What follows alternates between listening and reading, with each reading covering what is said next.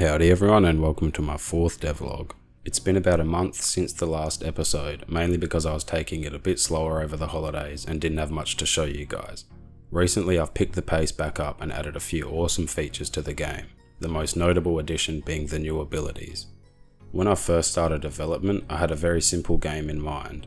I've tried not to become a victim to scope creep, but I couldn't help myself but add these two new abilities. I haven't implemented animations yet and the models are just placeholders, but both power-ups are functioning close to how they will in the final product.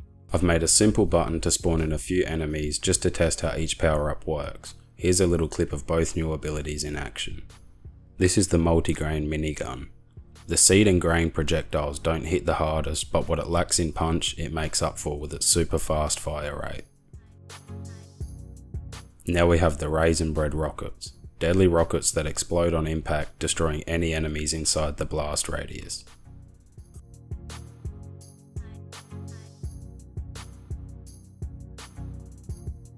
I've had loads of fun messing with these abilities and making them super overpowered and just blowing away obnoxious amounts of Mike's minions. In one of my last devlogs, I talked about moving platforms and how they weren't working the way I intended. I'd been putting it off for a while, but I finally added a small system for them and it works flawlessly. Instead of animators, my platforms are now being moved by scripts, which is harder to time and get synced properly, but much more efficient. I now have control of the specific points the platforms are bouncing between and can also control the rotation of the platforms. If I need to in the future, I can easily add on to this system to make smooth, rounded paths like you see here, but for now each platform's movement is very simple. Sliding on slopes was another important thing I kept overlooking and delaying.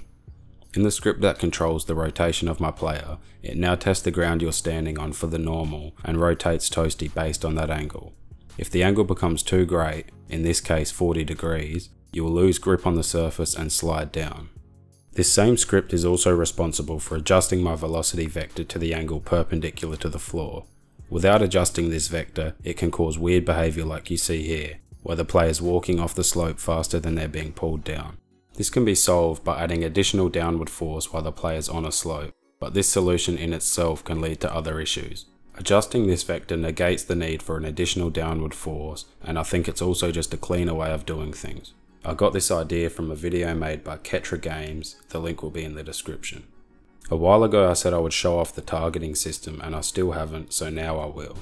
It's still very crude and I didn't exactly add every feature it needs because I ran into issues with it and got distracted by other things. The way it works is while you're holding the target button, it sends out an overlap sphere to check for any colliders on the layer named enemy. If it finds any, it then adds these enemies to a list and can check for which enemy is closest to Toasty. It will then enable the target indicator above its head. If another enemy gets closer than the current closest enemy, the indicator will then be disabled and be enabled on the new closest enemy. This method works well, but in its current state there are still a few issues, like targeting through walls and jittery rotation as Toasty switches between targets. I'm still not 100% certain how I want to implement this system, which is part of the reason why I've been so slack with it. I've been contemplating a crosshair at some points for the game, but I'm not sure how it would fit. If you know a game with an awesome targeting system, let me know down below, I'd love a bit of inspiration. For my birthday a few days ago, I got gifted a drawing tablet. It's been super helpful in allowing me to imagine and create these characters for my game's world.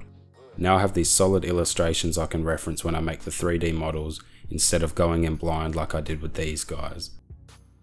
Hopefully in the next episode or two, you'll see some of, if not all of these guys brought to life.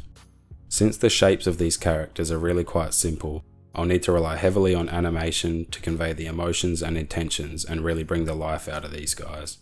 I now have a Discord server up and running and will be posting a small test scene demo of my game there soon. So if you like the sound of being involved in the first demo, make sure to join the server. The link will be on the screen and in the description.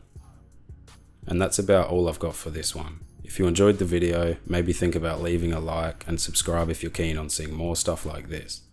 From now on I'll be trying to get a devlog out every fortnight, which should boost production of the game. I hope I see you in the next video, and thanks a ton for watching.